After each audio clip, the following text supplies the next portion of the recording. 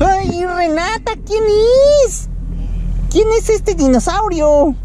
Mm, hola, pequeño dino. Uy, yo soy el nuevo dinosaurio de Renata. Mm, y vamos a ir a ver unos especímenes como yo, pero que son más. mm, mm, más recientes, menos viejos, menos antiguos. ¿A dónde vamos a ir, Renata? ¿A dónde? Cuéntales a dónde vamos a ir. ¿Eh? Al serpentario, no al cementerio.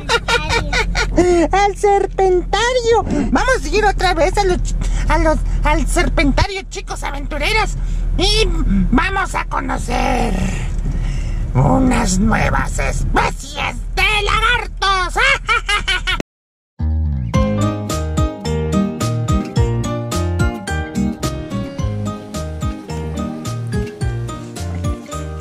Renata se fue a dar un paseo por el mar y en su viaje de Renata.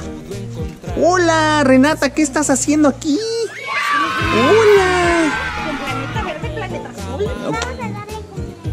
¿Que vas a darle de comer a los animales? La Renata nada más piensa en comida, chicos aventureros. ¿Cómo están, chicos? Muy buenos días. Como podrán ver, este nuevo vídeo lo estamos comenzando otra vez con un dinosaurio que nos está explicando cómo eh, nos estaba explicando que íbamos a venir al Serpentario. Ya estamos aquí en el Serpentario del municipio de La Paz, en Baja California Sur, chicos aventureros. Y se preguntarán por qué regresamos al Serpentario. Bueno, ¿qué tal? ¿Cómo están? Buenos días. Exactamente. Bueno, regresamos al Serpentario, chicos aventureros, porque el otro día en la casa encontraron una cascabel. Y no supimos si esa cascabel la dejaron o no en el serpentario, si vinieron, si les llamaron o qué fue lo que hicieron con esa viborita. Entonces, la idea de además de visitar al serpentario y apoyarlos es de preguntarles a ellos a dónde hay que llamar, cuáles son los números que hay que buscar, en dónde hay que buscarlos y qué es lo que hay que hacer si encontramos una cascabel en nuestras casas. Aquí en La Paz, ahorita es época eh, de que, bueno, nos, ya nos dijeron dos personas, no sabemos si es real, vamos a revisarlo, si aquí en el serpentario si, si es verdad. Eh, ya nos dijeron que empiezan a salir las cascabeles y es importante, chicos aventureros, que si nosotros encontramos un animal de alta peligrosidad como una cascabel, pues sepamos llamar a los expertos, ¿de acuerdo? Vengan, vamos a ver. ¿Qué pasa? Ah, ¿qué les estoy platicando? Ahí vamos, ahí vamos. Que de Planeta Verde, Planeta Azul, de Renata Aventuras Vlogs, para que nos van a contar, aunque ya venimos, más detalle, aunque ya una vez hasta agarramos una cascada. Sí es cierto. Hola, Hola, buenos días, bienvenidos al Serpentario de la Paz. muchas gracias. ¿Cómo se llama usted? Mi nombre es Laura, bienvenidos. Eh, aquí mis compañeros les pueden aclarar ciertas dudas para que conozcan eh, la fauna que tenemos aquí en Baja California Sur, sobre todo los reptiles, porque tenemos ciertos mitos y ciertas creencias sobre los reptiles, además que suelen ser un grupo que lo tenemos como apartado. Este, Y le tenemos miedo, ¿verdad? Sobre todo generamos un poquito de miedo alrededor de ellos. Es verdad, es verdad, chicos aventureros. Siempre tenemos muchos mitos, como el de los tiburoncitos, que pues bueno, ese es un mito bien grande. Claro. Y aquí, bueno, pues vamos a aprender un poco más de las cascabeles. Diles a los chicos aventureros que nos sigan en esta gran aventura, Renata, y que aprendan muchas cosas de las cascabeles y de otros reptiles junto con nosotros, ¿de acuerdo? El otro día, en la casa, encontraron una cascabel, en el fraccionamiento donde vivimos. ¿A ustedes les podemos llamar en caso de encontrar una cascabel en los hogares? Claro que sí, Serpentario, aparte de ser un centro, eh, es un centro de educación y de rescate y rehabilitación de fauna sil- silvestre. Ujú. En este caso pueden llamarnos al WhatsApp o a la, a la oficina y sobre todo cuando se tratan de ejemplares como cascabel, Exacto. que corremos un peligro Así porque es. son animales venenosos, eh, nosotros vamos, eh, traemos al ejemplar o se reubica en un sitio seguro para él y para las personas, en este caso nosotros. Ok. Eh, se reubican en lugares que sean alejados, donde no haya una zona urbana cerca, para que, sobre todo para que no se acerquen de nuevo a la casa. Cuando Claro. se acercan a nuestras casas, uno es porque están buscando refugio, puede que estén buscando alimento, que eh, esté, no sé, algún ratoncito o algo así. Entonces por eso se acercan a las casas y también eh, cuando, por ejemplo, aquí no suele hacer mucho, pero cuando estamos en temporada de lluvia o hay mucho calor, Exacto. ellos se exponen un rato al sol y después buscan refugio. Entonces por eso hay muchos incidentes de que vayan a casas, que se encuentren así. Pero por ejemplo en el caso de que nos encontremos una cascabel en nuestras casas, lo mejor que podemos hacer es ubicarla Ujú. y eh, mantener una distancia. Ellas no nos van a atacar nada más por atacarnos. En este caso, si se sienten vulnerables es cuando nos van a atacar, nos dan alertas y todo. Entonces, sobre, sobre todo es eh, mantener una distancia, una distancia segura para nosotros, hacer las llamadas que tengamos que hacer y también se puede llamar a protección civil y a bomberos en este caso. Ok. Ok. Y si no, pues también pueden llamar aquí, digo, van, se retira el ejemplar y ya nosotros nos encargamos de la reubicación. Ok. Incluso a veces Protección Civil y bomberos los traen aquí y ya nosotros hacemos la reubicación. Ok. Eh, y, pe- y nunca se recomienda manipularlas por nosotros no, mismos, claro ¿verdad? que no, para manipular, sobre todo porque son animales venenosos. Claro. En este caso, la manipulación eh, debe de ser muy controlada y sobre todo personas que sepan hacerlo. Claro. Sí, ¿Por qué? Porque se necesitan eh, herramientas para especiales para manipularlas. Porque no podemos agarrarlas con las manos ni, Claro. ni nada. Claro. Entonces se necesita un gancho herpetológico para tener una distancia segura sobre todo. Para quien la vaya a manipular. Cuando son ejemplares que no son venenosos, eh, se les pide que igual también no se manipulen para evitar como cualquier incidente, alguna mordedura, aunque no Claro. sea venenoso. Claro, puede ser, este, Eh, y traer sobre todo para no perturbarlos, así es. eh, ellos no nos van a atacar nada más por atacarnos, solamente si están vulnerables y se sienten en peligro. Entonces, si no, si es preferible no manejarlos Ajá. y digo solo ubicarlos, tenerlos ubicados para ver si se van a desplazar, si no se van a desplazar y saber dónde están para no correr ningún tipo de riesgo. Ok, perfecto. Ya vieron, chicos aventureros, ya aprendiste, Renata, que no hay que manipular a las figuritas venenosas. Mi amor, dile a los chicos aventureros que no traten de manipular las serpientes peligrosas, que llamen a los expertos, ¿verdad, mamá? Correcto, porque luego podemos ocasionar problemas. Los dañamos o nos dañan sin querer. Exacto.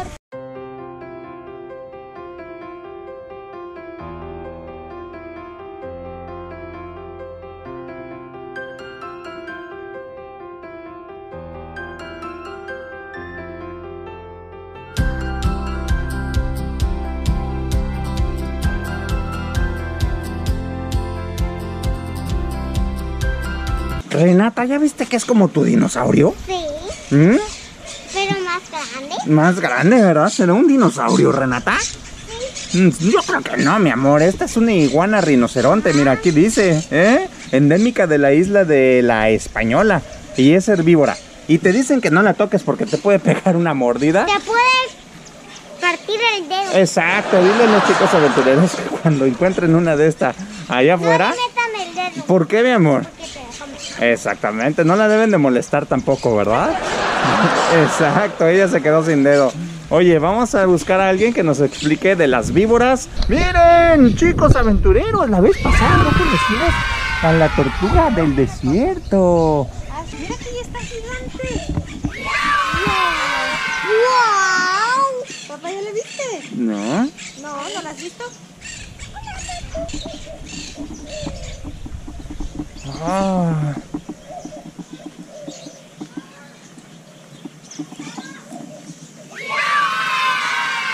No le vayas a tratar de agarrar nada, porque esa te muerde, te agarra el dedo y entonces sí. Te come toda. No, no te come toda, mi amor, te lastima. ¿Cómo la ves, Renata? Me quieren comer. No, no te quieren comer, te quie- están curioseando. ¡Uh, lo, mira! ¡Una bebé, mamá! Mira. Mamá, una bebé. Mira, dice Jardín Central, tortuga de espolones africana. Uy, especie amenazada. Vive en las sabanas zona árida y es herbívora. Está amenazada, mi amor. Mira, bebé, ¿ya la viste? Sí. Qué hermosa. A ella se le rompió su caparacho. Mm, está lastimada. Ven, no. Despacito. ven. Agárrala, agárrala. Ven, ven, confía, No te- está duro. confía. Aquí arriba no, no tiene la cabeza aquí.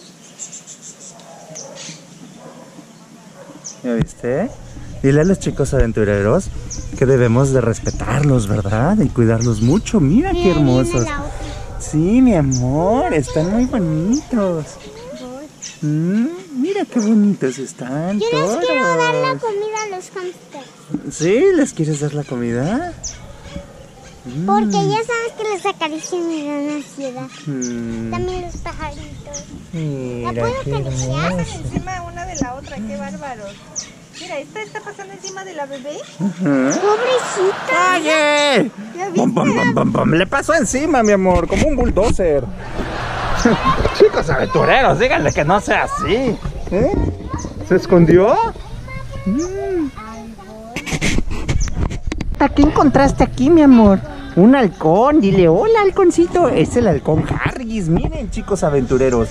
Él se llama Harris y es un ave.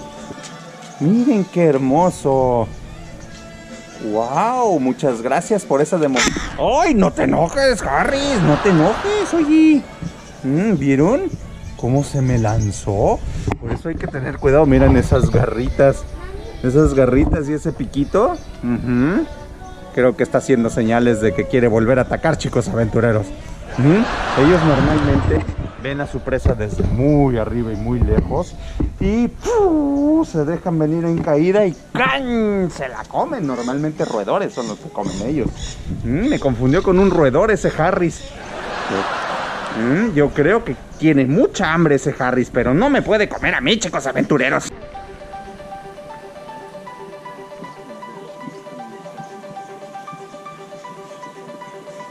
¿Viste, Renata? Ahí dice rescate, rehabilitación y liberación. Lo que significa que ellos rescatan a las víboras, las rehabilitan y las liberan nuevamente. ¿Eh? Entonces, eso, ¡ay! eso significa que sí pueden ayudarnos cuando encontremos una especie eh, de estas que son peligro para nosotros. Que no ¿ok? nos queremos encontrar ¿eh? No, en la casa no, en la casa no.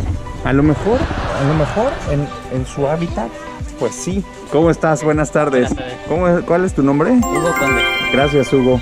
Dentro de la península tenemos varias especies de, de Ajá. Aquí en el Serpentario de la Paz podemos ver lo que es la serpiente indio, Ujú. serpiente, este, pues sería la serpiente de la baja, así se, se llama. ¿Cuál de estas es? Eh, sería esta de aquí, abajo, las estas dos de aquí. Ah, ok. Como pueden ver, víbora cascabel de la baja, Crotalus Ajá. sería su nombre científico. Ok. Este, por este otro lado, aquí. Serían estas de aquí, son Michelis, Crotalus Ajá. Michelis, siguen siendo víboras de cascabel.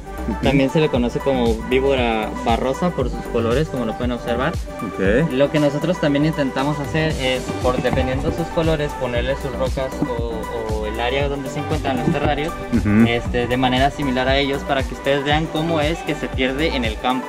Ok. Este, otra de las eh, intenciones que nosotros tenemos al, al hacer esto es que ustedes al, al momento que vengan aquí, pues de alguna manera puedan entrenar un poco su ojo, porque si les gusta hacer actividades en el campo, como ir a acampar, como ir a andar en bicicleta, Sí. este, y pues y- y- o ir a simplemente a caminar, este, se las pueden encontrar.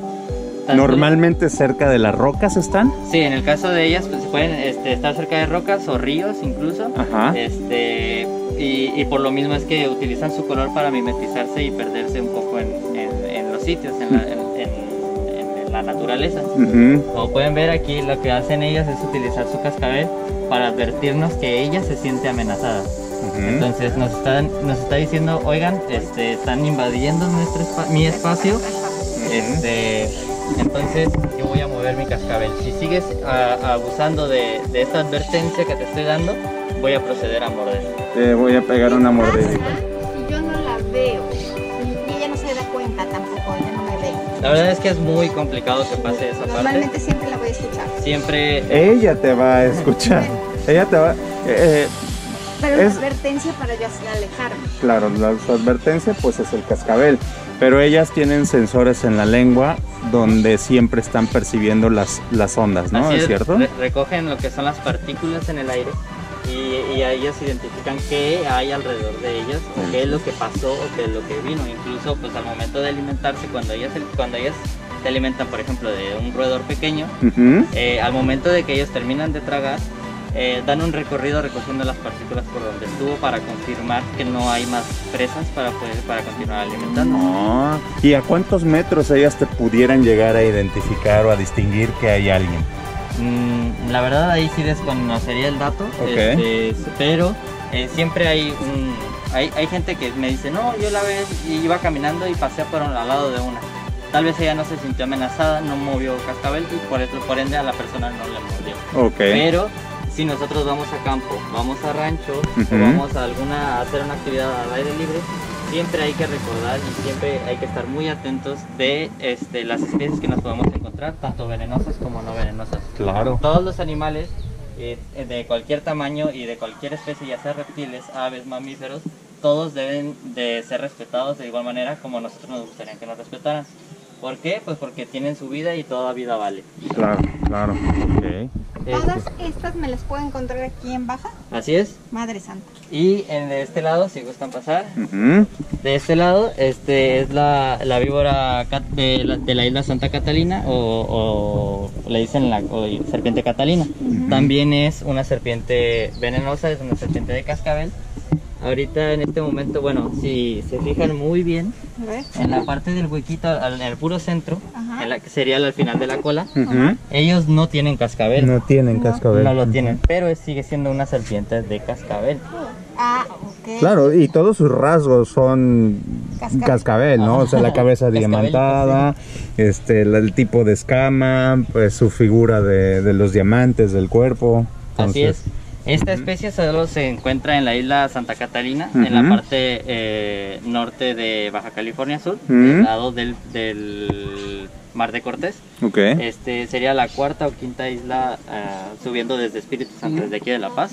Hacia el norte. Hacia el norte. así es. Ok, ok. Este, y ella pierde su cascabel, ya todas nacen sin cascabel, debido a que este, en esa isla ella es la- el depredador tope, ella no tiene una amenaza. Entonces, al no tener una amenaza, se va perdiendo en el proceso evolutivo, se va perdiendo ese cascabel porque es un gasto de energía innecesario. Claro. No tiene a quien avisarle, oye, me estás, me siento amenazado, me siento amenazada. ¿No tiene? No, con todo se puede defender.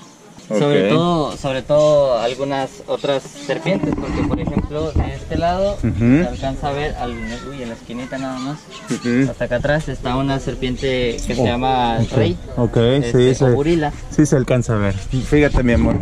Asómate, asómate con los chicos aventureros que vean esa serpiente. Este, eh, esta serpiente se alimenta de serpientes de cascabel. Ah, ok. Ella, ella es resistente, no, de A su hecho, mordida. Es resistente al veneno de Claro. las serpientes de cascabel, no les hace nada de daño. Entonces quiere decir que es un controlador de especies de cascabel. Mm, ok. Controlan en la isla que aquella no tiene depredador. Ellas, a- al ser naturaleza, tiene un equilibrio. Este, ta- obviamente puede ser entre ellas mismas. Este o la, la misma edad no lo que va lo que va pasando que las serpientes vayan estando en un equilibrio y no haya una eh, un, Sobrepoblación. un aumento de población Ujú. que afecte como tal en, en esa isla en el caso de la serpiente rey como les comentaba pues es resistente y es la controladora hay otras hay otras serpientes que también lo pueden hacer pero a nosotros no nos hace absolutamente Ella no nada. nos hace nada. nada no Ok. tiene veneno Ah, ok. es, eh, y, pero pues para identificarla pues son esas líneas este, blancas que tienen a lo largo de su cuerpo, Ujú. este, junto con unas líneas más anchas de color negro. Ok, ok, wow. Muy bien. Y mira, aquí vemos que está, que ya cambió de piel una viborita, Así es, esa Ok. es una muda una muda. de igual de una serpiente rey. Eh, la serpiente rey ahorita se encuentra abajo del bebedero parece ser, pero Ok, está escondidísima. Ok. Y esa, y esa muda la hacen dependiendo de su alimentación y de, la, y de cómo están humectados su cuerpo eh, a lo largo del año. Ujú. Por ejemplo, si está bien alimentada, la muda puede llegar hasta a hacerla cuatro veces al año. Oh, Este, ok. Eh, llegaría a ser, uh, eh, hay hay ocasiones que la muda la pueden hacer este, completa, así como se alcanza a apreciar en esta parte de aquí, pero también este, puede ser que sea por, Por partes. partes. Y esa parte, cuando es de esa manera, es debido a la falta de, de- de humedad en su cuerpo, puede ser la- también un- una descompensa- descompensación en la alimentación, Ujú. pero este, terminan mudando. ¿Por qué? Porque la muda es algo que ya están dejando a un lado para poder continuar creciendo. Ok. Todas estas que nos estás mostrando son bebés. Eh, no, No, son adultos. no, algunas ya son adultas. Ok. Este, y en el caso, como también les comentaba de la muda, bueno, no se alcanza a ver porque también ya está metida, pero tienen, los, las serpientes no tienen párpados, tienen una escama, la cual al momento de mudar, ellos también liberan como un casquito, como Ajá. si fuera Iron Man, Ajá. este, liberan con todo, todo, Mm. y cuando tienen la muda completa se alcanza a ver la escama en, en, en la cabecita pues, que, que les protege. De ahí sacó la idea Iron Man para sus cascos, chicos aventureros, ¿eh? Con colmillos. Mm, ok. Oye, ¿y, y cuánto llegan a vivir las cascabeles, por ejemplo? Eh, todo depende. Si Ajá. es en, en sitios de cautiverio, eh, obviamente van a vivir más años, incluso Ajá. pueden ser de 5 a 10 años más. Ajá. Este, y, y si es en la naturaleza, pues obviamente depende de, bueno, no dependerá, sino es eh, completamente eh, la competencia que se puede dar tanto por presas, por la edad y demás.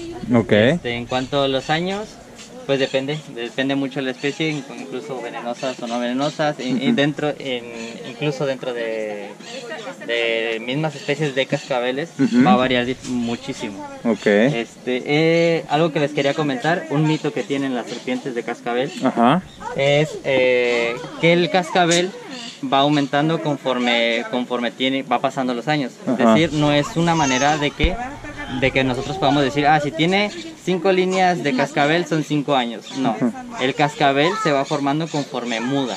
Ah, ok. Entonces, si puede mudar hasta cuatro veces al año, puede tener cuatro, cuatro líneas de cascabel Ok. y no serían cuatro años. No, no, pues es un año con cuatro mudas. En el caso de los reptiles, no, ellos nunca dejan de crecer. Ajá. Entonces, si, si llegaran a estar, por ejemplo, un año aquí y le diéramos de comer todo el tiempo, su desarrollo sería mayor. Mayor. Ajá, Ajá. así es. Aunque aquí en el Serpentario de la Paz nosotros no, no- no conservamos ninguna especie que sea perteneciente a la península. Ujú. Todas de aquí, como pueden ver en la parte de acá atrás, es ¿Sí? de rescate, rehabilitación y reintroducción al, a la- al medio natural. Ajá. Nosotros no nos quedamos con ninguna especie. Ok. En el caso de ellas, pues también dependerá qué tanto este alime- alimento obtienen o Ok. qué tipo de alimento obtienen para poder in- incrementar Crecer. su tamaño. Así es. Ok, entonces ahorita pues digamos que pues están pequeñas porque pues también están ahí con un alimento un poco más controlado. Sí, en el caso de estas, pues ya son a- a- a algunas son adultas que apenas están entrando en esa etapa. Ujú. Les van a crecer un poco más y además de que tienen el alimento controlado. Una vez que se libere en la naturaleza, ellas van a conseguir, seguir consiguiendo su, su alimento. Ok. ¿Algún otro mito o alguna otra leyenda que sea falsa de las víboras de cascabel que creas que sea importante para, para que los niños sepan? Pues, pues principalmente es ese, el, la, la parte del cascabel. cascabel. Este, y, y ¿por qué se los digo? Porque hay muchas personas que se encuentran una serpiente y dicen, ay, quiero ver cuántos años tiene porque yo ya sé esa información. Se acercan para intentar contar eh, el cascabel y al momento de hacerlo pueden tener un accidente. Ok. Entonces es mejor no... no Ni siquiera tratar de contar. O no comprobar ese mito porque Claro. es eso, un solo mito. Ok, ¿y qué nos recomendarías, por ejemplo, en caso de mordedura? Eh, mordedura, pues bueno, eh, suena muy difícil, pero es conservar la calma. Ok. Este, si nosotros nos agitamos, el, el torrente sanguíneo empieza a agitar, a, a aumentar. ¿Duele? Sí, sí, sí duele y es rápido también, es una perforación. Este, lo que pasa es que cuando ellos hemotóxico y neurotóxico. ¿Qué, qué quiere, qué quiere decir? La parte hemotóxica es que afecta lo que es el torrente sanguíneo. Claro. La sangre deja de funcionar como es, deja de correr como es y llega un momento en el que se va a pausar. Ujú. En la parte neurotóxica lo que pasa ahí es que empieza a fallar nuestro sistema nervioso. Ok. Empezamos a dejar de coordinar de manera correcta, este, nos empezamos a tropezar, si queremos salir corriendo rápido para llegar al hospital o llegar a, a venir aquí al serpentario a pedir ayuda con mamá, con papá, con quien sea, nosotros dejamos de coordinar y, y- e incluso eso nos puede traer un accidente más, ¿no? Caernos, una ruptura de brazo, etcétera, etcétera. Entonces suena difícil, pero es conservar la calma y llegar a un sitio, en este caso el hospital, eh, y pues eh, o aprovechando que se están viendo este video, eh, confirmar en sus, en sus ciudades o cerca de donde vayan a hacer sus actividades si hay un lugar donde tengan un antídoto para Aquí en La. Paz, ¿cuál sería el, la- el centro adecuado para asistir?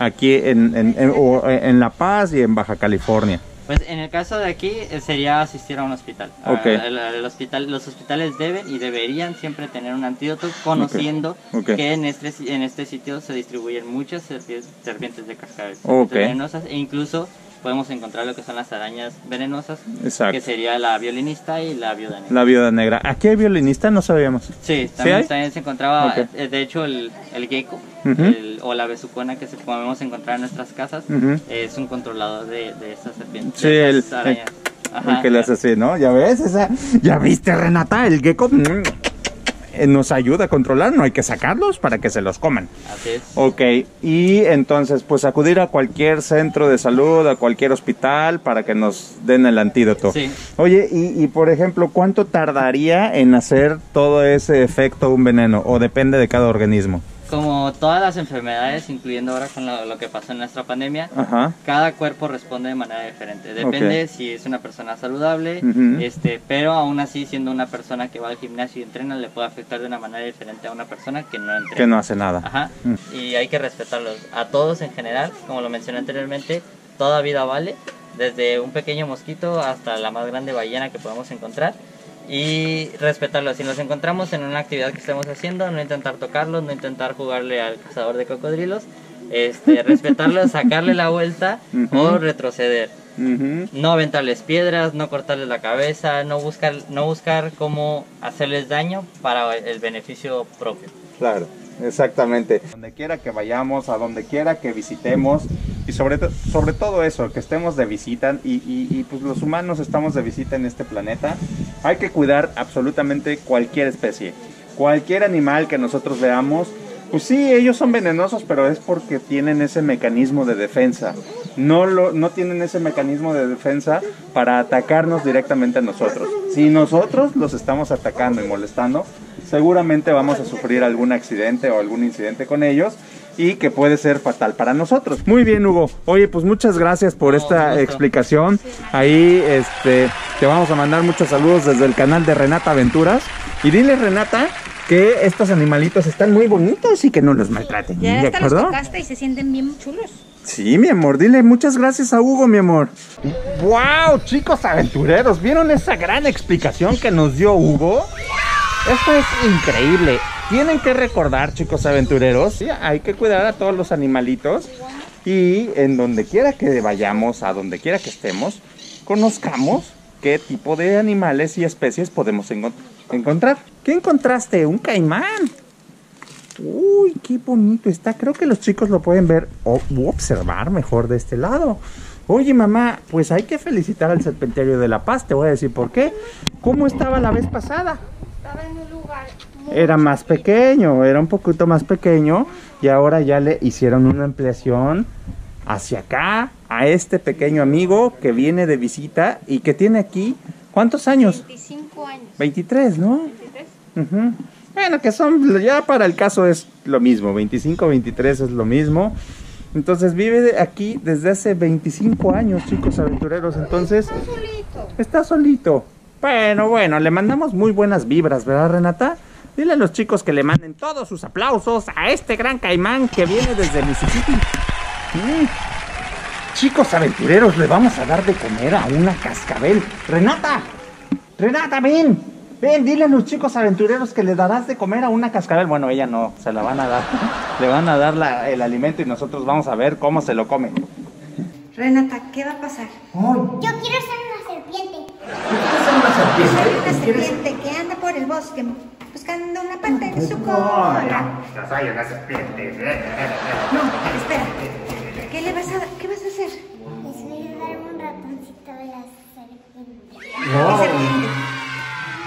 Cascabel. Una cascabel de diamante rojo. Miren, chicos aventureros.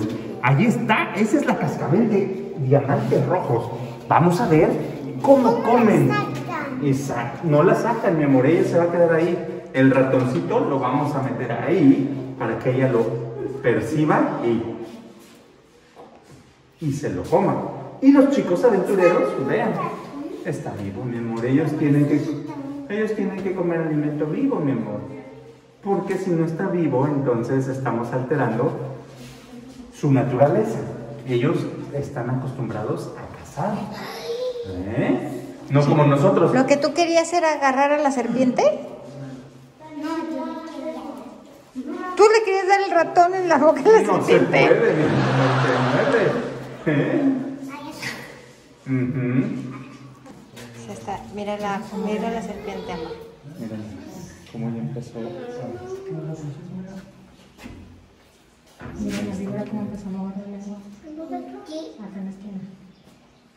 Mira, mira. Mira.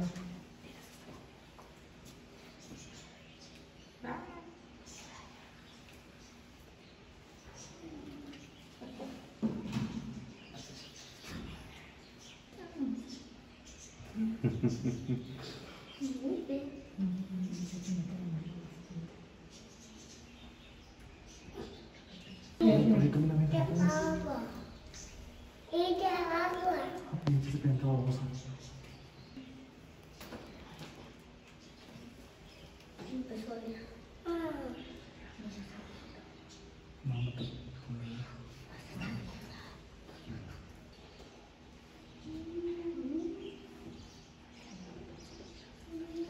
Muchas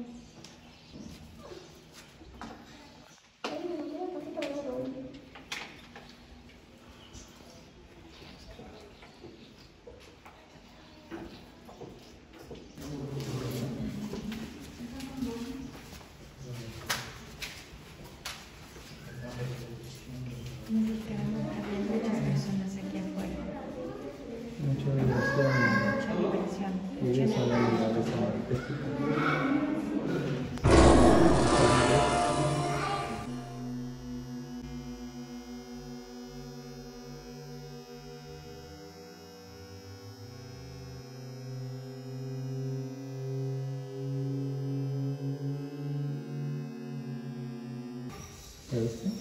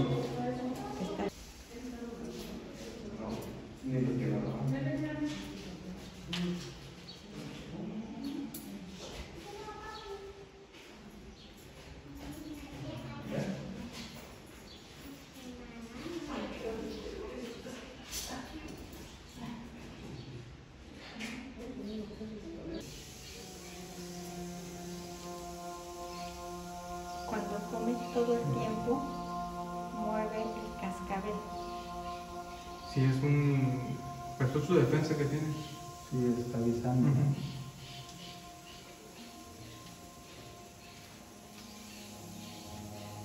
Estaban ansiosos los dos.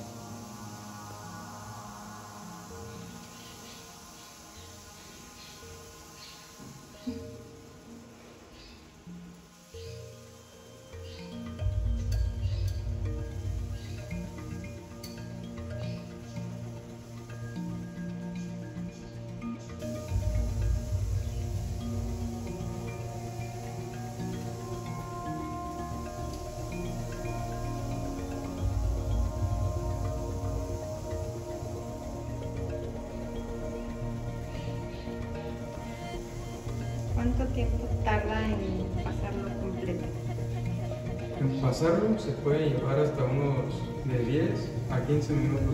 Sí nos ha tocado que hay- cuando hay mucho ruido y mucha gente, se distraen mucho y llegan a tardar hasta media hora en comer.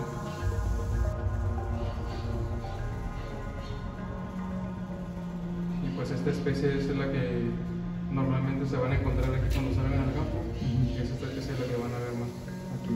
Estas llegan a medir entre unos 50 a 2 metros.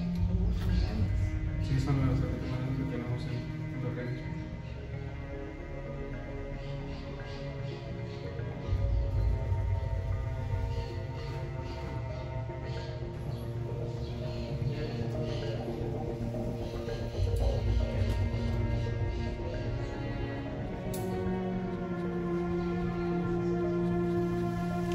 ¿Cuánto tiempo las dejan aquí antes de liberarlas?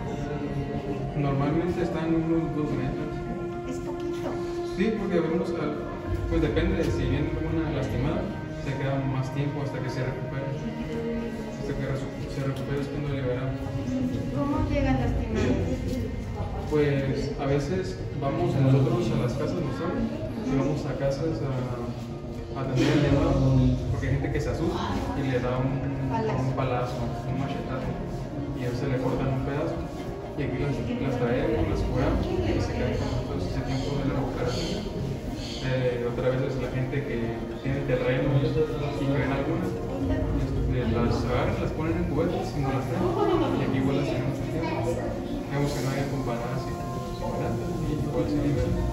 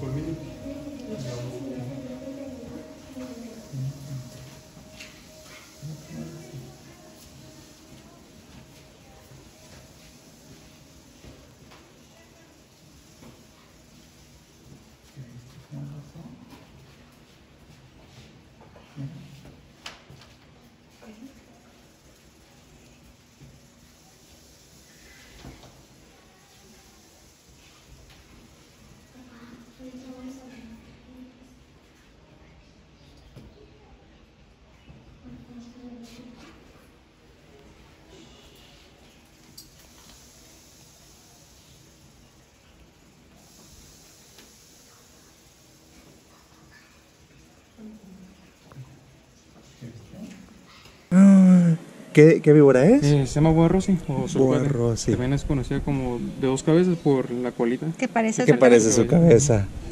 Es de aquí del estado, igual es. ¿Este es de aquí? Sí, se en toda la península. Más Uy, al norte hay una. qué hermosa está. Nativa de aquí. ¿Qué come? Eh, pues roedores, este, alguna otra lagartija. Oh, qué hermosa estás. Y tiene nombre. No, no tiene nombre. Pues sí que le ponemos rayas, ¿no? Mira, Tiene muchas rayas. ¿Cómo ves? ¿Eh? Dile, sí, te vas a llamar rayas, aunque te liberen luego, tú te vas a llamar rayas. Ya me está, ya me está comprimiendo.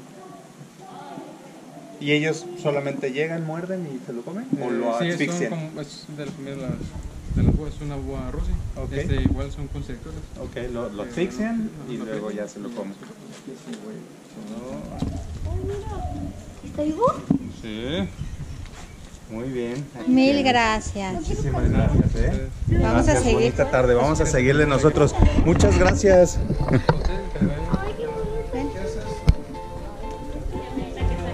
¡Hola, Renata! ¿Viste? Dile a los chicos aventureros que el día de hoy ha sido una superaventura. increíble. ¿Eh? ¡Uy! ¿Qué quieres decir? A ver. ¿Ya nos vamos? Ya hace calor, ya hace hambre. Ya se hambre, se acaba la aventura. pero. Mensajes, Planeta Verde. Mensajes, Renata Aventuras. Hay que decirle a los chicos aventureros que a donde quiera que ustedes vayan, visiten un zoológico, visiten un centro. ¿Qué no quiere decir? ¿Qué quieres decir? No debemos que. Y cuiden el planeta. Sí, mamá. Hay que cuidar el planeta, chicos aventureros. Les decía, mamá, que a donde quiera que vayan ellos, visiten un zoológico, visiten un centro de rescate como este. Más que un Exacto. Donde cuiden a los animales y los vuelvan a dejar en su hábitat y nos creen conciencia. O sea, usted nada más para verlo, nada más para que un ratito, lo liberan. Lo liberan exactamente, no hay que tener a los animales en cautiverio porque ellos se ponen tristes, ¿verdad? Pero les decíamos, hay que visitar este tipo de lugares para que conozcamos la fauna, la flora del lugar, sepamos quiénes están acompañándonos en esta gran aventura de la vida y en este planeta verde, planeta azul. Uy, uy, las latositas ya se están escondiendo. Ay, se escondió, ya viste, se espantó. Eso no hay que hacer. Entonces, chicos aventureros, muchas gracias por acompañarnos en esta gran aventura. Cuando vengan a la ciudad de La Paz, en Baja California Sur, no se olviden de visitar el Serpentario, que tiene muchas aventuras para ustedes.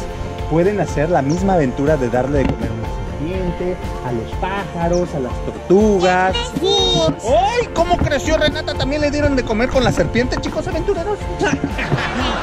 No, una broma. A los búhos y a los aves. Mamá, muchas gracias, Renata. Diles, dile a los chicos que. Y no se olviden de visitar el Serpentario de La Paz en Baja California Sur. ¿De acuerdo? Adiós, chicos aventureros. Hasta la próxima. Adiós.